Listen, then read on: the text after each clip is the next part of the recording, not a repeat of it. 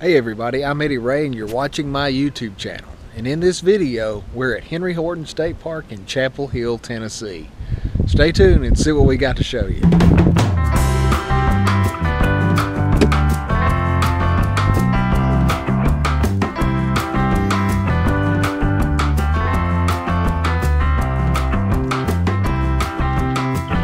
So once you pulled off the main highway and made your way into the campground area of Henry Horton State Park, the first thing you, one of the first things you will see is the playground. Got a big playground on one side and there's a gigantic sandbox on the other side uh, for all the kids to play. This looks like a kid-friendly place. Uh, there's plenty of room to ride bicycles and you know just do what kids like to do. Another benefit to here uh, as you see with some campgrounds but don't see with others is there is a camp store here. Uh, the camp store is manned by the camp host or the campground host and uh, he stays in there from time to time makes sales transactions. Uh, there's clothing in there, souvenirs, novelty items, and necessity items for those of us who forget things from time to time. This is the camp store. Uh, make sure you stop by. Uh, they got all kinds. Of, it's not huge or anything like that, but certainly enough for someone if they forgot a few things or want to pick up a few souvenirs.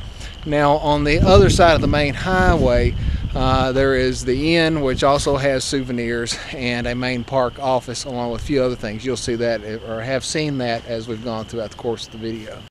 Okay, so as we make entrance into the park, uh, the first site is obviously number one, number two, number four, and then across from number four is number three. All these are back end sights. Now, if you get on here to number five, it is a pull through.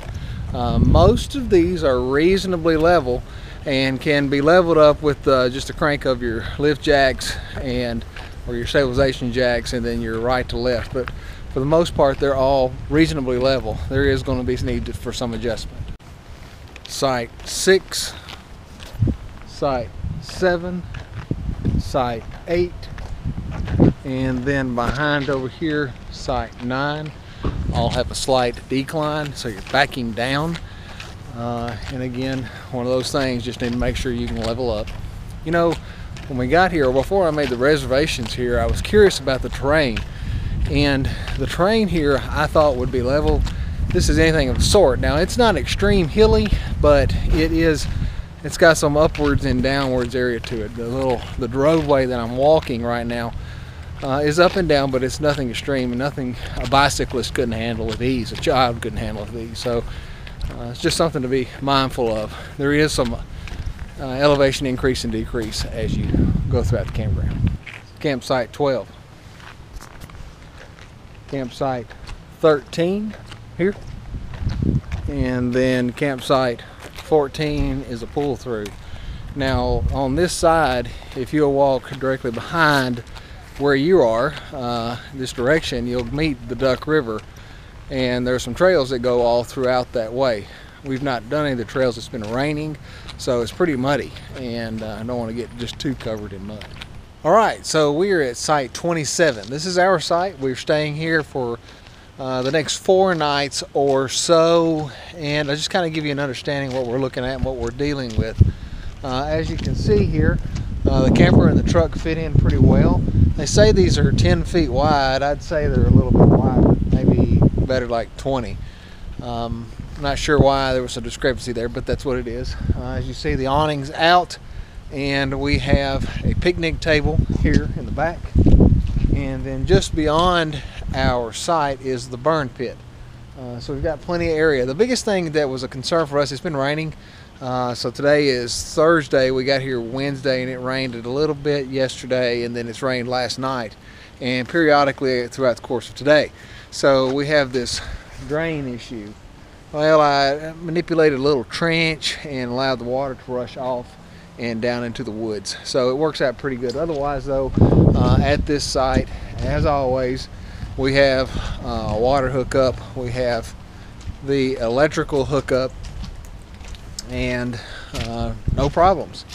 So it works out pretty well. As you can see, they've got big metal posts uh, so you don't run over their water or electrical, and then of course you have all the hookups that you need. Uh, this is Mama J site. They're at site 29. 29 is at the crest of a little hill just past ours at 27. As you can see, it's all level and uh, plenty of room to do whatever it is that you think you need to do. Lots of good area. Good thing about this site on 29, uh, it's not very far from the restrooms. You see the restrooms over here. The site just beyond them is site 30. It's a back end site. Sets across the top of a little crest as well. Right next to site 30, restrooms. To my left here is site 35. Good level site. Backs in, you've got all the normal amenities. Uh, your concrete picnic table and your burn pit is off to the side. But on the other side of 35 is 34. 34 has quite an incline, so be prepared for that in the event that you use it. Uh, it's not extreme and it somewhat levels out, but there is an incline. All right, here is site 39. As you can see, they've got a travel trailer pulled in and a truck pulled in there with it. Plenty of room. It's a reasonably le level site. Has all the hookups as normal. This site here is site 40. Uh, you can see site 40. It has a decline. So when you're pulling in, it's going to, you're going to be going downhill just a foot. I'd say there's a variation maybe of a foot, maybe foot and a half as from the entrance to the exit. Uh, this site here looks like it might be 41. Uh, it's a pretty level site. It has an incline. I don't want to, you know, I don't know how you classify moderate, severe. Severe would be like straight uphill if you ask me. None of these are like that. They all are reasonably leveled out. You can get your uh, camper pretty level pretty quick. All right, site here is 48. Uh, this uh, is a pull-through site, uh, and to me, if you're going to get this one, you're going to need to level up right to left and front to back. So make sure you got you some blocks with that. Directly across from 48 is site 49. Uh, simply back right up, you see the picnic table and burn pit there at the end of it. It's level left to right and level front to back. The last camper site that we see is site 52, and that's one with this gigantic Class A. Uh, as you can see, they fit another vehicle over to the side, got their awning out. Plenty of room for what it is. So in talking about the terrain, we're at site 14. This is a pull-through site, and uh, just make notice uh, behind me here, it's like a drop, uh, almost like a sinkhole. And there's a couple of these throughout the campground. Uh, if you got small kids uh, or you know animals, anything like that, I don't know that this would necessarily be the site for me. Um, it does have the picnic table and it does have the burn pit. Uh, but I can see my two-year-old riding the big wheel off into this crater and then trying to fish him back out. So uh, amongst all the crying and carrying on, I just don't think that the sites like this would be suitable for small children. Uh, they have everything you need, but uh, you certainly don't need that headache. Okay, site 17, 18,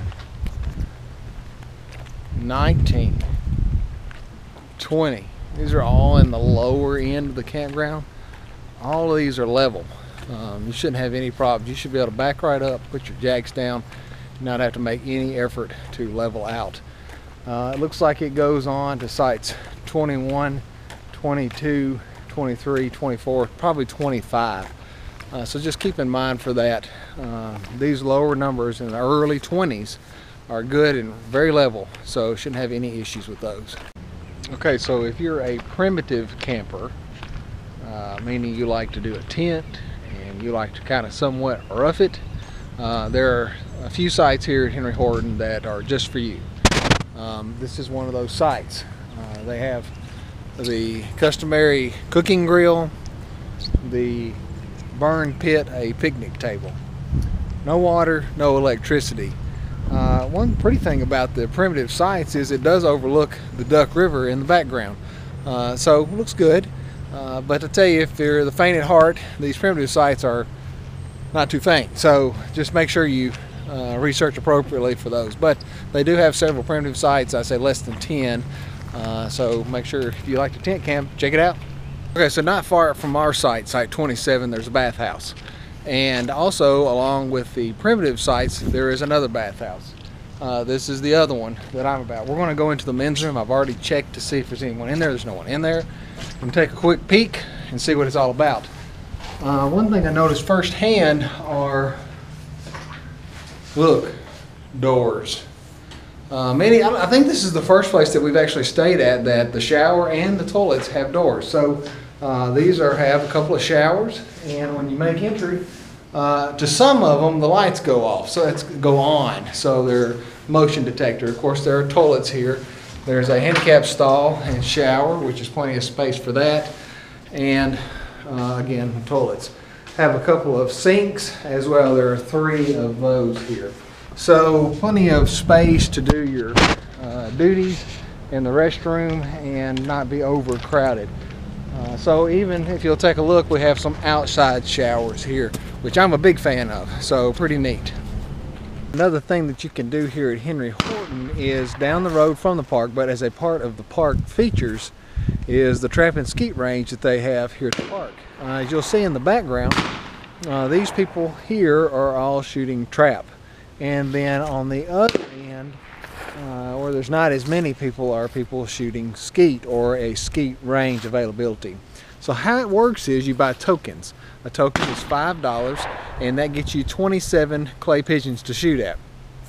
Uh, so you can rent, you can purchase those, you get however many tokens that you think you're going to shoot and they also, offer uh, firearms or to rent. They have gauges 12 gauge, 20 gauge, 28 gauge, and then 410 gauge. And the gun rental is ten dollars. So you know you buy your ammunition I think you average only sixteen dollars for that uh, ten dollar gun rental and then uh, ever how many uh, skeet or clay pigeons that you'd like to shoot. Really kind of a neat thing. I've not ever had the opportunity to see that before or do this here. So this will be a good experience. Looking forward to it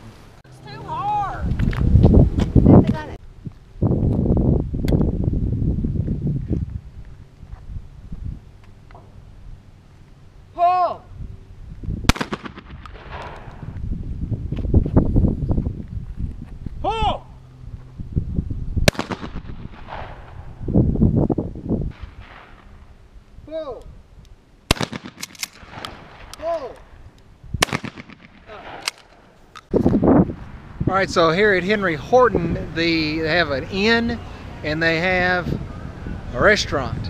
So the inn, unlike uh, we went to Montgomery Bell last month, it's an inside facility and then it has uh, it backs up to the lake area and there's an open area in the back where they have a, a balcony or just a walkout area. So that has that. This one is looks like a two level and we're obviously not staying here. We're staying at the campground, but uh, all of them appear to have an entrance that is open to the area.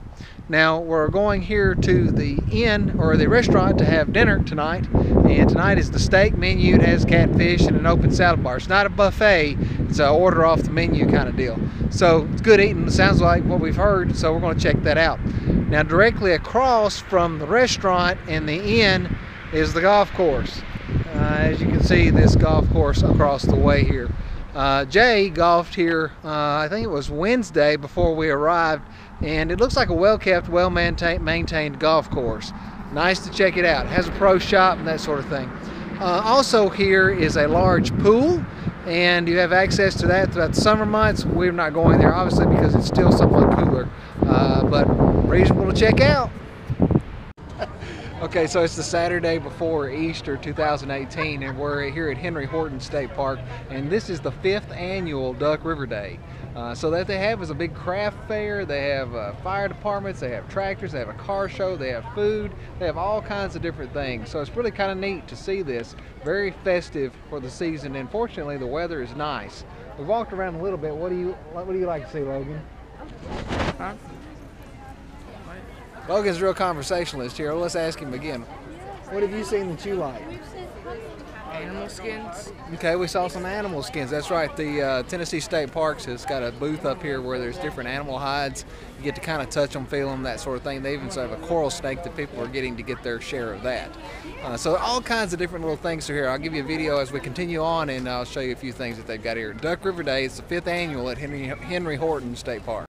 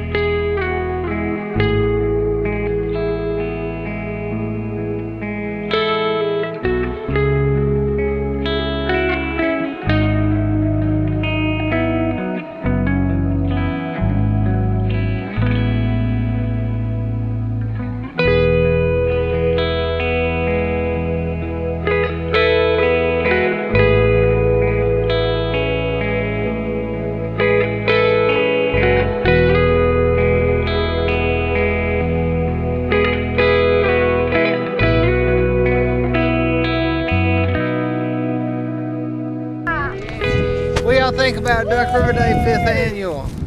Yeah. All right, we're leaving Duck River Day. Uh, that is a huge ordeal. They had Easter egg huntage. They had foodage that you had to wait in line for forever. And they had all kinds of craft stuff. It was it was a real good deal. A car show, tractor show. More dogs Uh, than people. Yeah, there we've determined that if dogs, he made a comparison that uh, dogs have four feet and humans have two feet. It was uh, the equal amount of feet on the ground for dogs and humans. So big time, lots of fun. Okay, so here at Henry Horton State Park, at this frisbee golf course. I've never done frisbee golf in my life. So you can rent the, uh, I don't even know what they're called, the disc from the park inn. They give them your driver's license. They let you borrow as many discs as you need, and then once you're done, you return them. We're on hole number six right now and playing along. Uh, this is good. I've never done this before. Enjoy it. The weather's nice. Right way to do it.